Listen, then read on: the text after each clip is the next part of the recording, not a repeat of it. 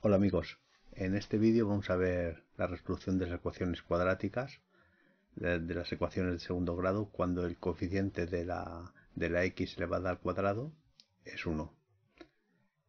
En estos momentos que está tan de moda el método de resolución de estas ecuaciones cuando el coeficiente es 1 del método Poisson-Law, vamos a ver nosotros otro, otra forma de resolverlas cuando ese coeficiente de la variable elevada al cuadrado es 1. Vamos a simplificar el cálculo de las raíces de las ecuaciones de segundo grado, es decir, los valores a los que la, ecuación sea igual a 0, para que valores de x sea igual a 0 la, ecuación de segundo grado, teniendo en cuenta eh, que la forma es eh, ax al cuadrado más bx más c, pero siendo a el término coeficiente de, la variable x al cuadrado 1 igual a 1. La solución general es esta, menos b más menos raíz cuadrada de b al cuadrado menos 4ac, partido todo ello por 2a. Vamos a ir un paso adelante y vamos a ver qué ocurre cuando en la ecuación de segundo grado a es igual a 1. Bueno, lo primero que podemos hacer es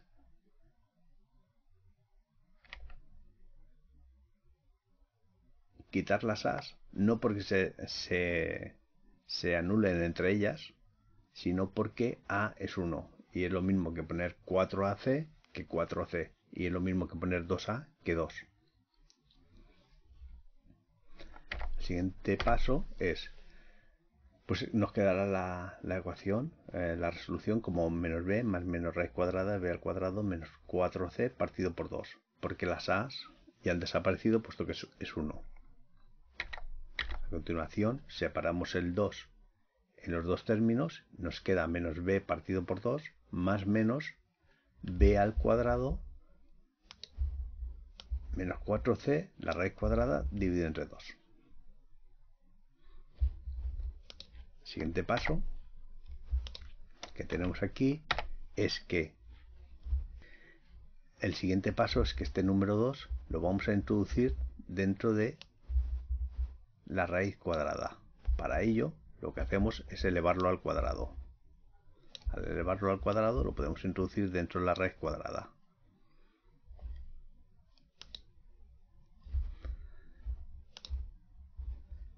Entonces seguimos por aquí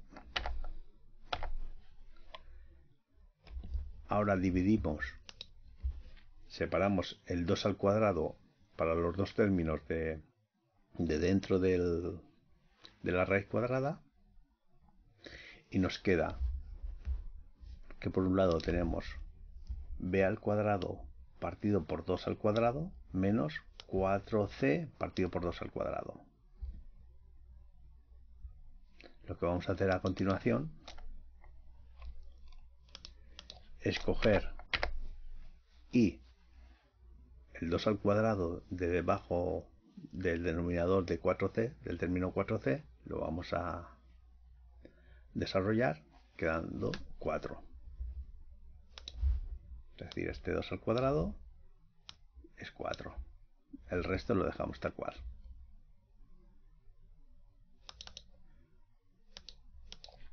Bien, pues seguimos. ¿Qué ocurre? Pues que ese 4 sí que se anula con el 4. El 4 del numerador se anula con el 4 del denominador. Y entonces lo que nos queda a continuación es la fórmula menos b partido por 2 más menos raíz cuadrada de b entre 2 al cuadrado, todo ello al cuadrado, menos c. Y esta sí que va a ser nuestra fórmula general para el cálculo de ecuaciones del tipo x al cuadrado más bx más c, siendo el término, el coeficiente de x al cuadrado, un 1. ¿Y qué ocurre? Que en el momento que nosotros tengamos calculado b entre 2, podemos hallar el b entre 2 rápidamente al cuadrado, restarle c y sacarle la raíz cuadrada a todo ello. Vamos a ver unos ejemplos de cómo se resolvería.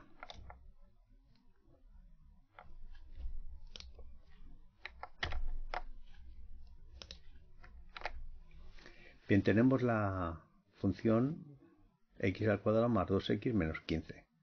Vamos a hallar sus raíces, es decir, cuando se iguala a 0, cuando se anula esta función, esta ecuación de segundo grado, y entonces eh, primero lo que hacemos es identificar los coeficientes a, b y c, es a1, b igual a 2 y c igual a menos 15.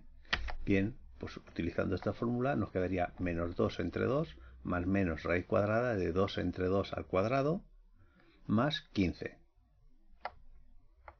Es importante seguir los signos. El más 15 sale de menos menos 15. De aquí sacamos que menos 2 entre 2 es 1, más menos raíz cuadrada de 1 más 15. Con lo cual nos queda menos 1 más menos raíz cuadrada de 16. Raíz cuadrada de 16 es menos 1, es 4 la raíz cuadrada de 16 es 4, entonces nos queda solución menos 1 más menos 4, que nos da igual a dos soluciones.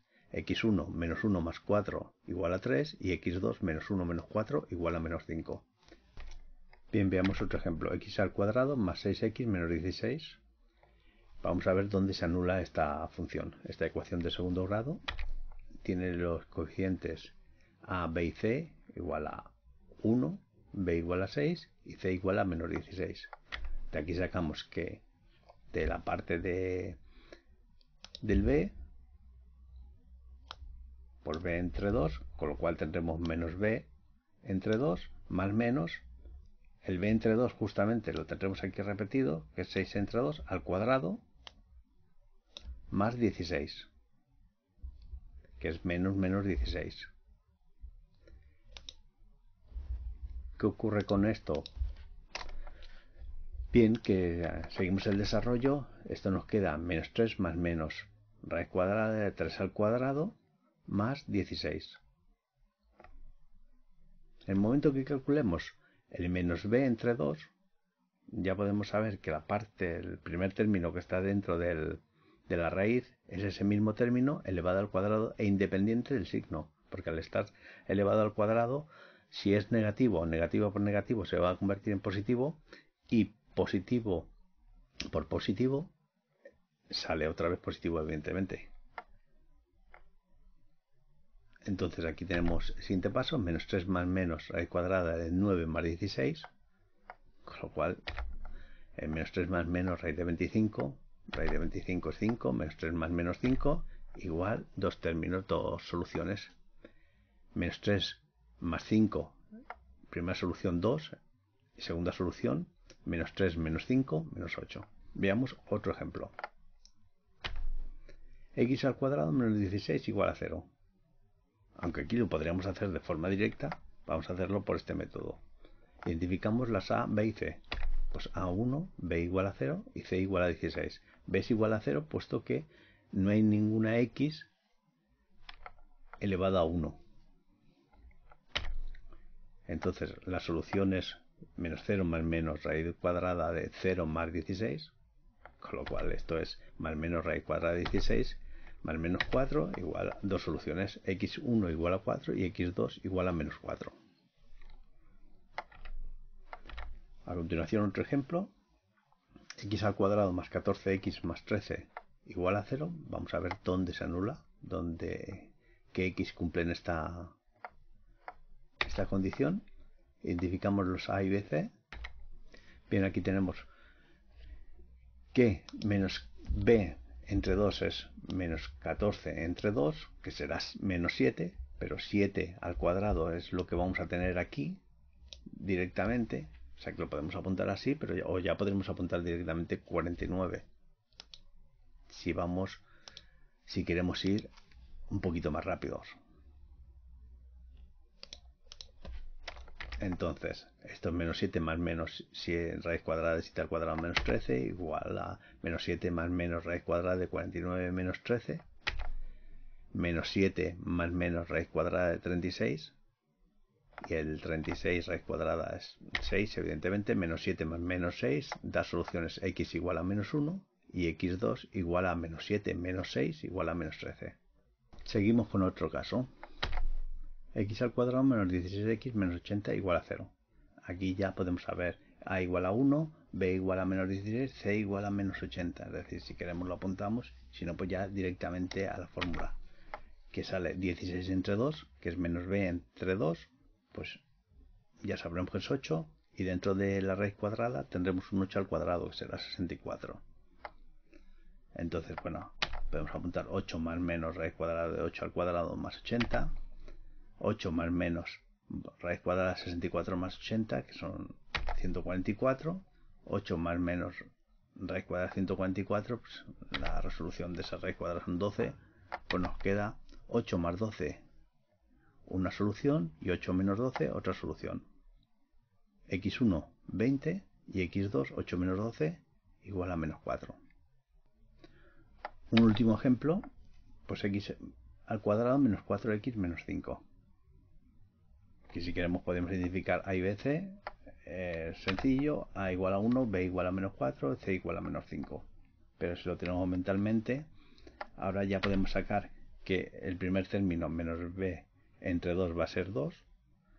Ese 2 se va a estar dentro de la raíz elevada al cuadrado más el 5 que es el término de la C. Con lo cual tenemos 2 más menos raíz cuadrada de 4, que es 2 al cuadrado, 4 más 5 por 9.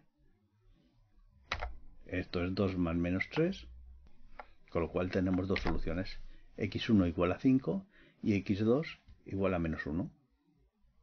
Muy bien amigos, pues aquí hemos visto una forma diferente de resolver ecuaciones de segundo grado cuando el término de x al cuadrado es 1 es un tanto diferente al método Law, este método novedoso que ha aparecido en internet.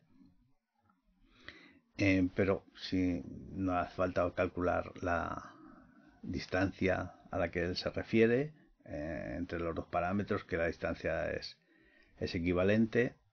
Bueno, pues esto es aplicando la fórmula general que hemos sabido durante toda la vida, pero resolviendo que a es igual a 1, con lo cual podemos partir de la fórmula general y simplificarla bastante.